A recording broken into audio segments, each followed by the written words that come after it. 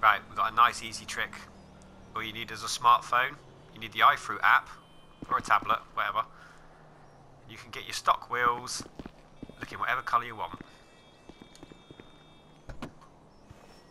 Let's get in the truck.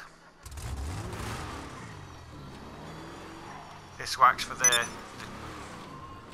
the, the Tropos Rally. It works for Trophy Truck, the What can the best Raid, mechanic in LS and the for you? Few other cars. Doesn't work for the RE7B. Right, what you want to do is wheels, wheel type, muscle, buy the cheapest ones. Now that's a custom job. Back out wheel colour. Um, let's put them in red.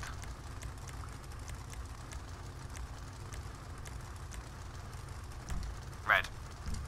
Right. Out of Los Santos Customs. Now on the iFruit app, on your phone or your tablet, you want to go Los Santos Customs. The garage at the very bottom is your car. Find the vehicle you want, which can take some pressing on it, looking at it, going back out again because it doesn't say the name. Once you've done that, you want to select at the bottom wheels. The very far left one is stock wheels. Up the top, press order.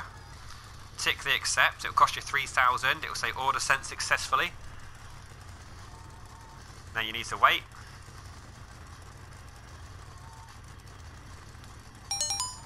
There we go.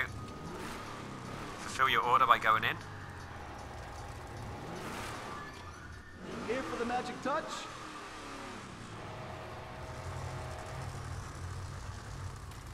Process the order, 3000.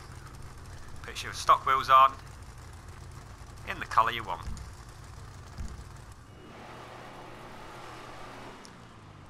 If you want to be absolutely sure, you can go stick the car back in your garage just to make sure it definitely saves, but it does. It works.